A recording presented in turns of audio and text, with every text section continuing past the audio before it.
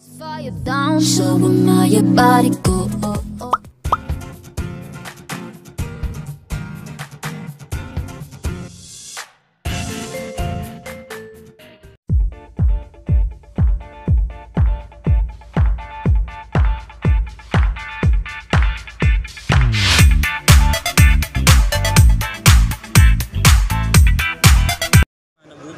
Pumasok kami dito sa may Mall.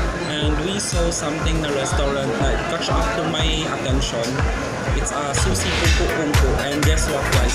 For only 199 pesos guys, you have all of this.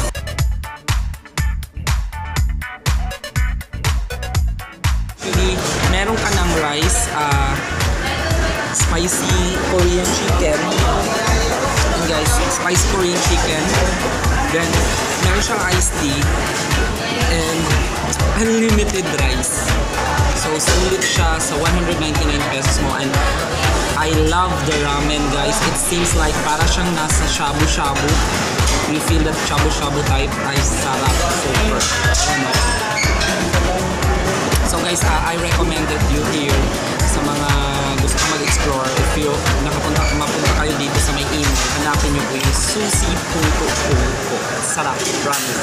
Super sarap.